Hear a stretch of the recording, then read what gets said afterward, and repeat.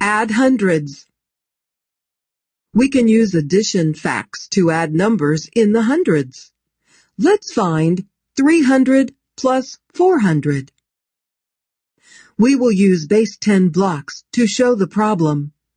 These three flats show 300. These four flats show 400. 300s plus 400s. Think.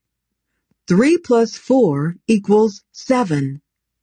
So, 300s plus 400s equals 700s. Now, find 600 plus 100. Think. 6 plus 1 equals 7.